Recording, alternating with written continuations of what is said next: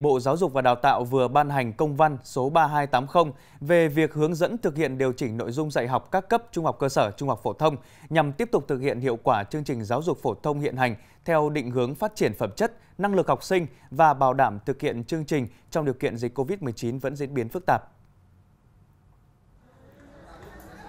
10 môn học sẽ điều chỉnh nội dung dạy học bao gồm toán, vật lý, hóa học, sinh học, tin học, công nghệ, ngữ văn, lịch sử, địa lý và giáo dục công dân. Nguyên tắc là tinh giản các nội dung vượt quá yêu cầu cần đạt về chuẩn kiến thức, kỹ năng của chương trình giáo dục phổ thông hiện hành, tích hợp một số nội dung thành các chủ đề, điều chỉnh các nội dung trùng lặp giữa các môn học và hoạt động giáo dục. Đối với các môn học, hoạt động giáo dục còn lại, Bộ Giáo dục Đào tạo yêu cầu tiếp tục thực hiện theo hướng dẫn tại công văn số 5842 năm 2011 về việc hướng dẫn điều chỉnh nội dung dạy học giáo dục phổ thông. Đối với các môn học theo chương trình nâng cao ở cấp trung học phổ thông và các lớp học theo mô hình trường học mới, cơ sở giáo dục trung học căn cứ vào hướng dẫn tại công văn này để chủ động điều chỉnh nội dung dạy học cho phù hợp.